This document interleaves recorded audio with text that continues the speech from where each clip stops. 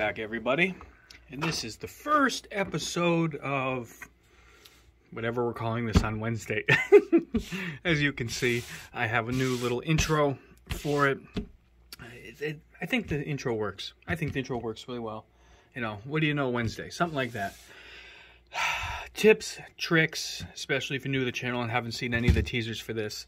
It's just going to be little things all over the place from what's the best 3S battery to fly? What do you fly? What is one of your go-to carries for flying when you go out into certain locations? Um, modifications. I wish I had the rest of the mount. I am going to mount a GoPro 10 Bones to this and use it as a vlogging thing. So these videos could be anywhere from a half hour long, 10 minutes long, or literally 30 seconds. So there's going to be all kinds of cool little tips and tricks. Um, one of them should be decide to clean up your workspace before you decide to make a video so you're not doing it the entire time of the video. Um, I really didn't think this through on what I wanted to do. Um, as a smartass, there I, I, might save it for next video. I, I have a funny little shtick I'm going to use, but the tip trick of the day today is mount for your HD camera. This is a recent setup. This is Pickles. This is my go-to. I carry this every time I go out. I should say that 99% of the time based on wind. Um, the speed that this thing can go, its capabilities, um, it flies really, really good. Really locked in. It's great in acro. It will fly great in angle mode just for those really tiny maneuvers.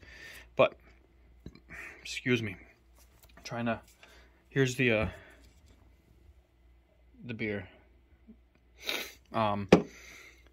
So, I think the mount, however you mount your HD camera, is super crucial. Like many other decisions you make on. Let me put another light on on your quad.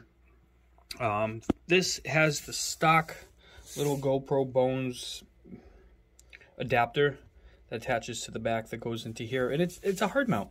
So there is a bit of vibration that I catch every now and then. And I've only flown two or three packs. Some of them were just tests.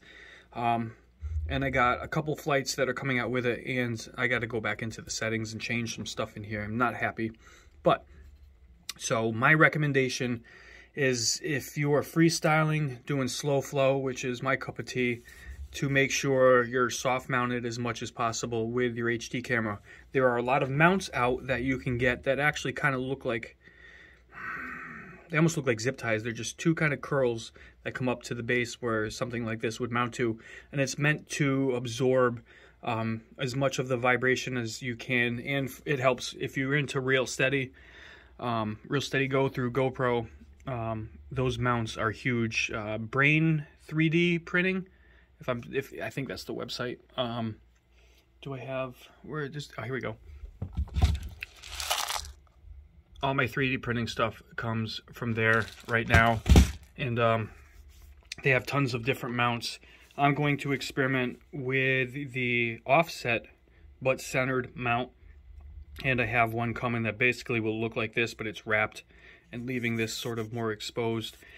I'm hoping that will lower this down a little bit because I'm not a fan. I wanted to push it forward to lower the profile a bit more, but you see it in the um, FPV camera. But another thing I like to do, and I'm going to go back and readjust these, is I like to put little rubber isolators between the frame and the 3D print part to try to absorb as much as humanly possible.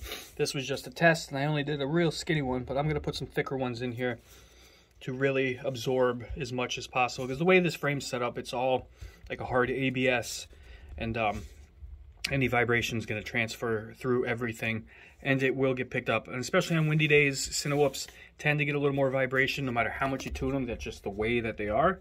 This one is a lot better because it doesn't have a standard duct, duct and uh, it flies a lot better, especially in acro. But again, the, the tips and tricks are trying to take out your jello. Even in the most basic of cameras, like the Runcam Cube thingy there, and some of the other older GoPros that don't have the stabilization, taking away that jello makes the world of difference on the footage. And one other crazy thing that can help that is the ND filters. On a real bright sunny day, even some of the best tuned quads will get some vibrations based on wind, bent prop, because if you fly, you crash and you bend props. that is a thing that tends to happen. So, ND filter will help with some of that jello and make the world of difference. And that would lead into another topic I can talk about with editing. You can do more in editing quote unquote post with an ND filter because you can allow more stuff into the sensor when you're able to block out. I like to run with an ND8 and an ND16 based on what I'm doing. I'm still learning a lot when it comes to HD cameras with locking shutter speed, what the shutter speed should be based on your frame rate. For example, if you're running 60 frames a second, which I'm running, your shutter speed should be double. So I should be running a shutter speed of 120 and that locks it. Um, the trick would be if you're going in and out of the canopy into open field and back into canopy, I would recommend running auto because you want it to be able to bounce back and forth. But if you're staying in one sort of fixed color profile, then lock the shutter speed. But I'm going to keep this short and sweet. I hope you've enjoyed this new little uh, series I'm running. You know, what do you need to know? What I'm still working on it, but the intro thing I think is super cool. I had some fun with that the other day, and um, stay tuned. Share your thoughts. If you have any recommendations, tips that you would like to share for me to broadcast and get out there, if you want to just shout somebody, whatever it is, I'm here. Hit me up. Thanks for watching.